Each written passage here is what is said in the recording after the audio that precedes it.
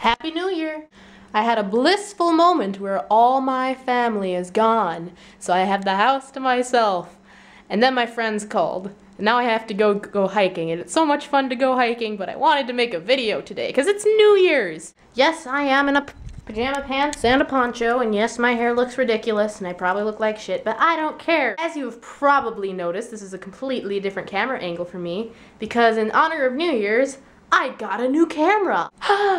in any case, um, this is a Canon PowerShot ELPH 110, and it's lovely so far, and I think it's great. Now, the thing is, when you watch, you know, how to make a vlog videos, they say, don't buy a new camera, you know, just work with what you have. Well, to be honest, what I had was my webcam. And while having a webcam is a delightful thing, it is not exactly portable. La la la la la la, New Year's coming. La la la la la.